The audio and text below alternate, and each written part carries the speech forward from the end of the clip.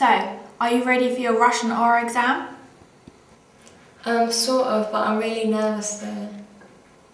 Just relax and start when you're ready.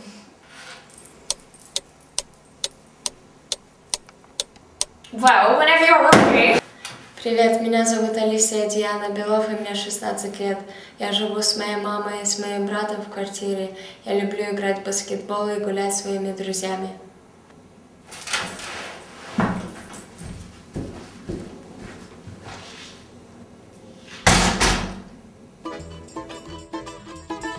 Música